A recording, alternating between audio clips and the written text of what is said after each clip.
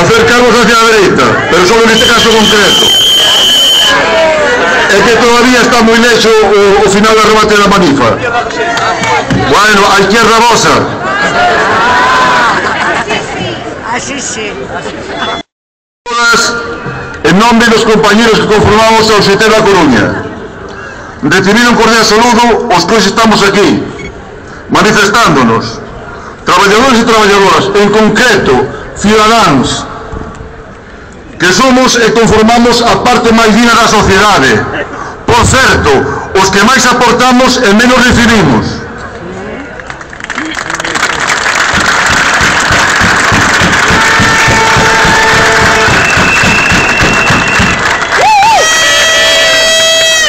Antes de comenzar o acto,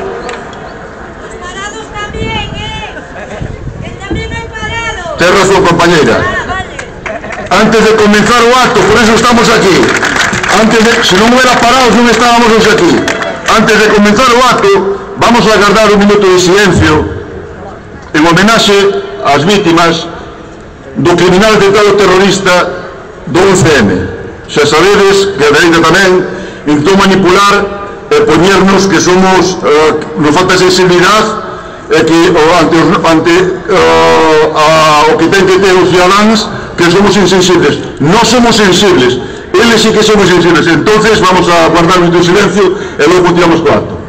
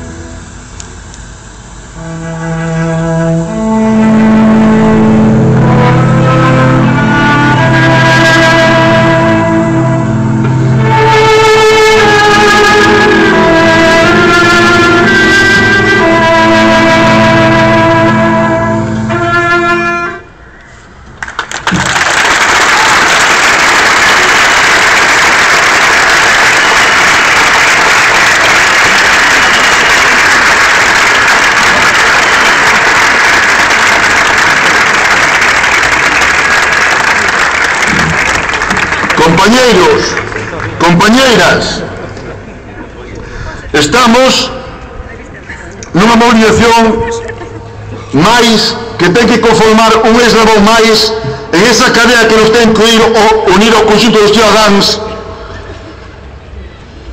que estamos intentando construir, obviamente, desde, desde os sindicatos, porque é a nosa responsabilidade e nunca vamos a negala, para loitar contra unha reforma laboral aprobada polo goberno do PP. Unha mal chamada reforma laboral, injusta e innecesaria, que ataca os dereitos dos traballadores e das traballadoras, e o conxunto dos cidadáns, parados ou nativo. A reforma non vai crear emprego. O propio goberno do PP xa manifestou que durante este ano se pode aumentar o desemprego en 600.000 traballadores máis. Ou parados máis. Compañeros e compañeiras, non nos engañan, nin os sindicatos, nin os traballadores, nin os cidadáns. Esta é unha reforma dunha dereita conservadora contra o consulto dos cidadáns, repito, dos cidadáns. É a reforma que pedían, exixían e querían os empresarios máis recalcitrantes e conservadores, a banca máis especuladora, En concreto, é a reforma que a señora Merkel lle marcou o goberno do PP e ao señor Rajoy.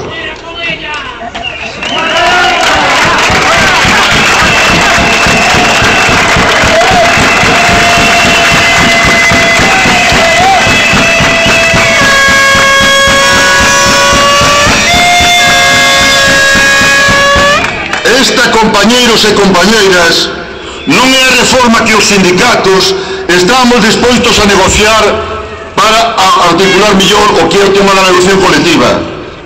En certos aspectos que o mellor efectivamente, digamos, hai que poñerse ao día, porque se non o creéramos non nos hubiéramos sentado ao respecto. Pero esta é unha reforma, nos queríamos unha reforma que pudiera generar emprego. Eso é impepinable. E iso é indudable. E hasta nós creemos que os partidos que non gobernan é unha obligación deles apostar por esa máxima. Pero claro, isto dicen cando non gobernan, cando gobernan e cando se olvidan desto. Esta é unha reforma contra os parados. Esta é unha reforma contra os traballadores. Esta é unha reforma contra a cohesión social. Esta é unha reforma contra o crecimento económico. Esta é unha reforma contra condicións dignas de traballo. Esta é unha reforma contra o diálogo e a contratación social esta reforma en concreto é un ataque ao estado do benestar e aos servicios públicos é unha batería de recortes de dereitos que costou máis de tres décadas en alcanzar con moitos sacrificios de moitos compañeiros que hoxe non están vivos son estes son os recortes sin precedentes desde que estamos nun estado de dereito. Isto hai que remarcalo. Por moito que lle joda ao PP. É unha reforma contra o futuro, porque nos aboca a un presente de paro e precariedade. Un presente nos que os traballadores deberíamos ter a oportunidade de tecer o noso futuro e os nosos fillos. O futuro dos cidadáns con máis e millores servicios públicos. Os traballadores públicos son traballadores como outro tipo de calquera, do metal, do transporte, son traballadores, que a mesma dignidade, que a mesma responsabilidade. E cun sistema de protección social que sempre hemos reivindicado e seguiremos reivindicando, que asegure os recursos para unha vellez digna, en definitiva, un futuro local, cuidamos crecer e desarrollarnos como sociedade, como persoas, no marco, en este caso concreto, do que ten que ser unha sociedade baseada no entendimento, na justicia, na solidaridade. Por todo isto, non a reforma laboral, por emprego, pola protección social, pola justicia social, folga, folga, folga xeral. Folga, folga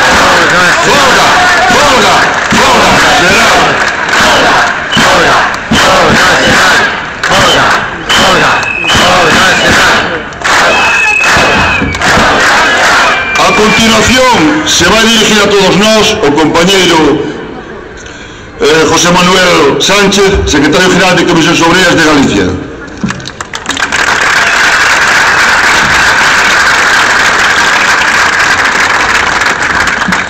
Compañeiras, compañeiros, de novo un saúdo en nome das mulleres e homes do Sindicato Nacional de Comisións Obreiras en Galicia, que hoxe, aquí na Coruña, xunto cos compañeiros e compañeras da UGT, igual que en todo Galicia, que según nos informan, máis de 200.000 persoas están nas rúas demandando outras políticas.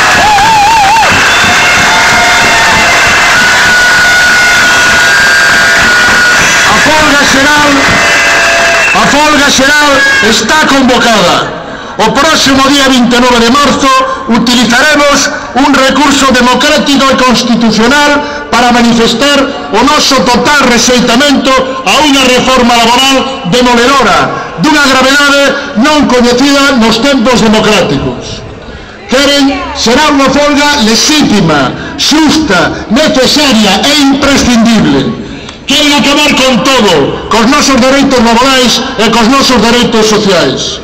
Rajoy e os seus valedores, a dereita nacionalista e a patronal, amosan unha total falta de respeto á clase traballadora, Despreciana, desprecian a maioría social deste país, mostranse sumisos cos mercados, cos intereses das cancelerías alemán e francesa, fortes e implacables cos débiles e sumisos e cobardes frente aos poderosos.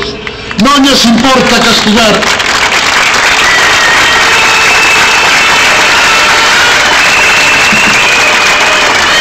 Non nos importa castigar duramente a ciudadanía e desmantelar os nosos servizos públicos o noso estado de benestar.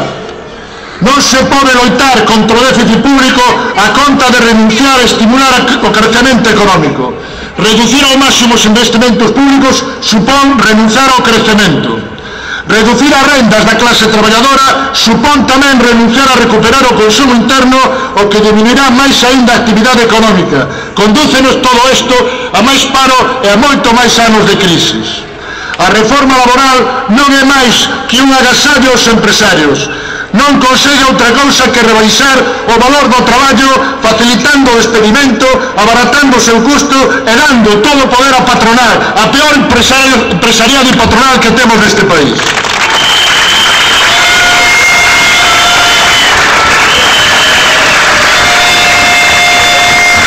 reforma, como eles mesmos recoñecen, non vai a contribuir a crear ningún só posto de traballo, senón que destruirá aínda moitos máis. Hai que ter morro e fachatez para decir que esta é unha, é unha reforma laboral moderna, o que nos retrotrae ao siglo XVI, a época do esclavismo, a época do servilismo.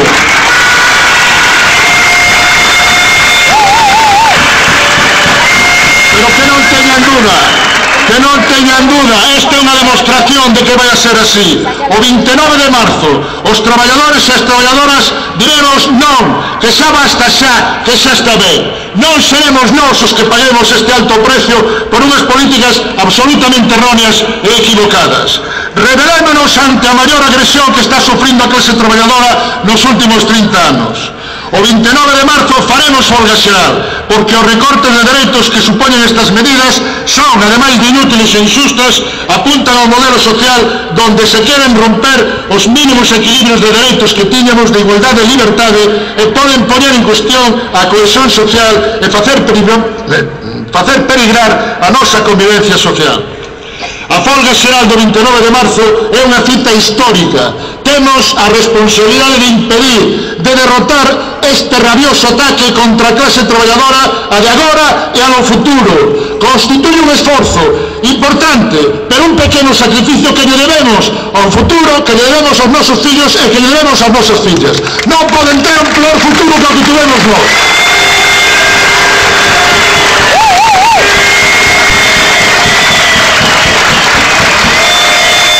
compañeros compañeiras, traballadores e traballadoras da Coruña, de todo Galicia, contra a reforma laboral, contra o paro, a precariedade e a exclusión social, contra o recorte dos dereitos sociais e laborais, pola defensa dos nosos servicios públicos. Roubanos os dereitos, roubanos os nosos salarios, querense quedar con todo, temos que pararlle os pés. O 29 de marzo, pola xeral. Venceremos, compañeros e compañeras.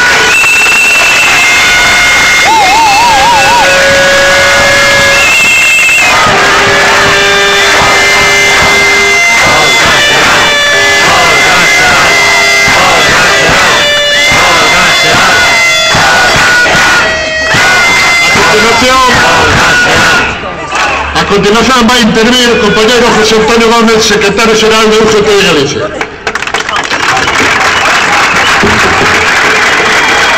Bos días, compañeiros, compañeras, un saúdo moi cordial, moi afectuoso no nome de toda a familia que conformamos a UGT en Galicia. Agradecervos de verdad, agradecervos a vosa resposta masiva e contundente nesta manifestación. Hoxe, unha vez máis nos estamos manifestando en máis de 60 localidades de España, nove delas en Galicia, contra esta reforma laboral que xa sabedes, é injusta, ineficaz e inútil. A prepotencia, a arrogancia deste goberno non ten límites. Foron capaces de aprobar por primeira vez unha reforma laboral sin consulta ni información previa os axentes sociais e ademais levaron ao Parlamento sin facer ningún tipo de caso a nosas propostas de rectificación e de negociación. E sendo, ademais, non bastándolle con isto, son capaces de decir dentro do goberno e dentro dos seus portavoces mediáticos que a actuación das organizacións sindicais, que a actuación dos traballadores e das traballadoras é irresponsable eu creo, eu penso, nós pensamos que irresponsable está sendo o goberno do Partido Popular. Moi irresponsable. Porque irresponsable irresponsable é cargarse o direito ao traballo. Irresponsable é facer unha reforma para destruir emprego, non para mellorar as condicións de traballo. Irresponsable encargarse o modelo de relacións laborais que construímos con noso esforzo, con nosos sacrificios traballadores e traballadoras durante máis de 30 anos de democracia. Irresponsable é tratar os traballadores enfermos como sospeitosos.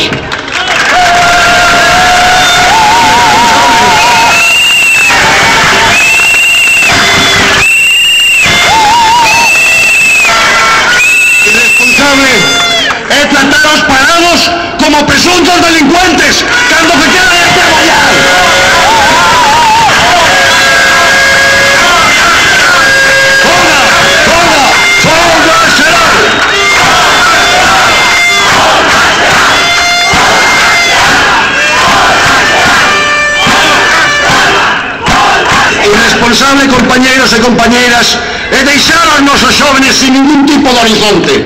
Eso sí que tamén é irresponsable.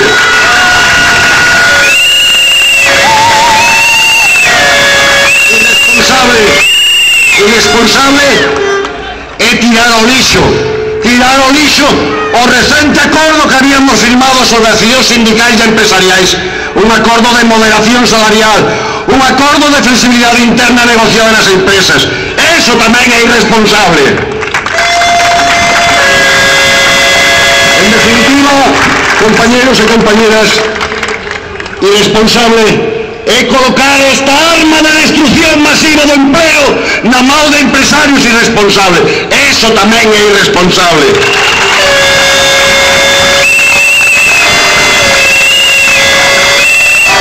E por último, irresponsable... Irres irresponsable, compañeros e compañeiras, por parte do goberno, é non deixarnos a outra vía, outro camiño que a conflictividade social. Por eso, por eso convocamos a folga xeral do 29 de marzo, porque son unos irresponsables. E ademais de irresponsables, compañeros e compañeras, ademais de irresponsables, son cobardes. Son cobardes. Porque todos, Todos os axustes os están a facer sobre os traballadores e as traballadoras, sobre os empregados públicos. Non se atreven ca banca, non se atreven cos especuladores, non se atreven cos que defraudan. Por eso son cobardes.